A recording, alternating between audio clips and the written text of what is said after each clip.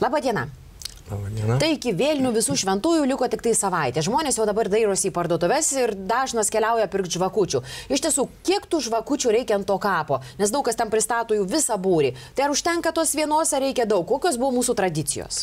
Žinote, šiemet aš Žemaitijoje vienuose atlaiduose girdėjau vieno iš aukšto dvasiškio labai protingą, nors visiems tarsi gerai žinomą e, teiginį, kad mirusiesiems reikia maldų, o ne formalių tokių e, dovanėlių, kurias mes nešame ant kapo.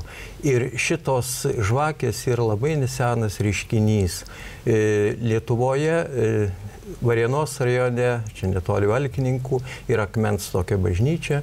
Yra žinoma, kad 1880 metais ten kunigas e, padarė tokį e, tarsi simbolinį kapą, ant kurio pirmą kartą žvakutės uždėkė. Yra šiek tiek nuomonių, kad galbūt ir kažkur čia Vilniuje kitų metų buvo, bet e, iki to laiko niekas nebuvo, nes žvakė brangus, gaminys, vaško tiek daug neturėta, netgi tos graudulinės žvakės arba gramnyčiosios suvytos į kamuoliuką buvo.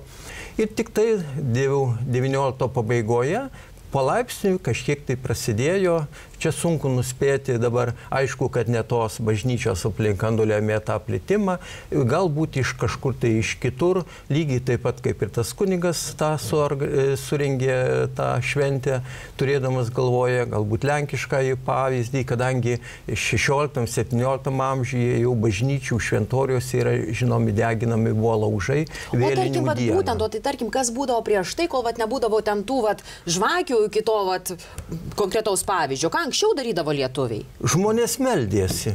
O tai nedegdavo tų laužų, gal kaip tik va tos laužus uždegdavo? Nu, apie Lietuvoje buvusius kažkada anksčiau laužus mes neturime duomenų. Šiandien mes žinome, kad Dzukijoje yra iki šių dienų išlikę, bet yra žinomi, kad... Ir tuos net kryžius senus degina, taip, kai tai kur matote, dar yra prieš vėlinės, kaip ir pavasarį visada tvarkomos kapinės ir kapinių e, tie šventinti kryžiai nėra išmetami, o sudeginami. Todėl tas laužas, jisai ir tą turėjo reikšmę ir atsiradimas galbūt galbūt. Galbūt ir turėta iš kažkur tai ir iš anksčiau nužiūrėta. Čia dabar tokių šaltiniuose nurodymų duomenų apie tai nėra. O tai Bet... tarkim, tas vėlių pagerbimas ir, nu, ta prasme, ar tos vėlinės, ar gal kita diena, ir va, būtent ta ugnis kažkokia. Tai kiek tai būdavo susiję? Matote, e, pats tos mirusių, ta mirusių pagerbimo diena yra žinoma iš Prancūzijos, Klūnį vienuolyno, paskui su benediktinais atėjo į Lietuvą, pačiame pirmo tūkstantmečio pabaigoje,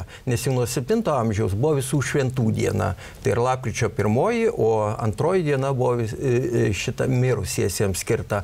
Taigi ta atėjo su krikščionybė, su katalikybė į Lietuvą, aišku, galbūt per vienuolynus ir kaip jinai plito yra sunku pasakyti. Kad lietuviai turėjo kažkokį tai ten pagerbimą, mes turime iš šaltinių e, duomenų, kad buvo ir tos ir vaišės, kapinėse ir buvo ir namuose vaišės, ir tos ir krosnys kūrenamos tarsi vėlėms, čia irgi galima sėti su tais laužais ir su šito Lenkijoje, pavyzdžiui, lygiai tas pats, kad tiekimo, kad vėlinių tą dieną, kur mes vėlinėmis vadiname, ateidavo į namus tie e, mirusiųjų tos vėlės ir joms sušildyti reikalinga ta šiluma. Taigi yra ten tų šaltiniuose paminėta, bet kiek jie plačiai buvo ir kiek jie yra teisingi, nes vienas nurašė, kitas nurašė. Čia yra, sakykime, tokių mokslinių tyrimų. O tarkim, kaip su tais tokiais šaltiniais irgi teko skaityti, kad esą dar čia pagonybės laikais Lietuvoje lyg tai, vat, kai jau nuimdavo derlių, tai žmonės turėdavo tuos alkus savo šventas tas vietas ir kiekviena šeima turėdavo savo ugnevietę ir ten jau eidavo, degindavo ugnį ir taip pagerbdavo savo mirusiuosius. Kiek čia turi iš tiesų tik, yra tikra tas dalykas? Tai čia žinote, o iš kur mes galime žinoti, jeigu niekas nėra užrašę. Todėl mes galime sukurti labai gražių įvairių e, pasakojimų, legendų ir panašiai.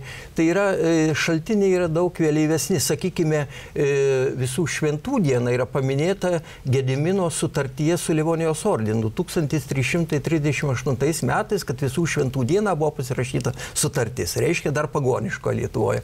Bet apie tą šventę, kaip ir visų šventų dienos ten pagerbimą, niekas to neturi. Yra nuo 16, 17 ir taip toliau. Vėlinė svetainė, sakykime, pats pavadinimas yra, tik tai jau tikrai paminėtas dauganto, iki to laiko tokio nėra. Ačiū Jums labai už pasakojimą.